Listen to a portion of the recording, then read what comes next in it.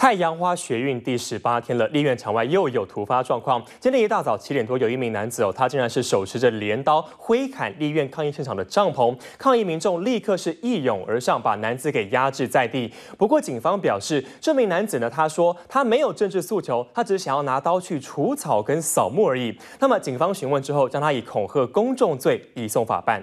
穿着灰色衣服、微胖男子整个被压制在地上，旁边还掉了一顶假发。因为这名男子竟然拿着镰刀冲进立法院外的帐篷，让在场抗议的民众吓了一跳。我和另外一个人过去就开始抢他的刀子，去夺他的刀，夺镰刀，结果夺。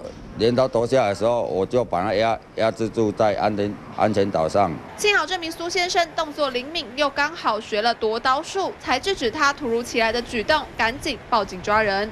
他原本被我压制住，他他就有说，他原本就把棺材埋好。警方表示，这名胡姓男子供称没有任何的政治诉求，只是突然想到要到公家机关除草。原本他他他原本是认为说啊，这个公安机关这个。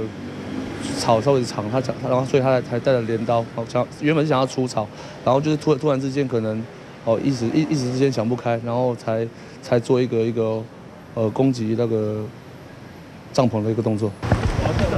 探花学运第十八天一早就不平静，警方要在厘清男子的真正动机。有电 TV 零米周五新闻台北报道。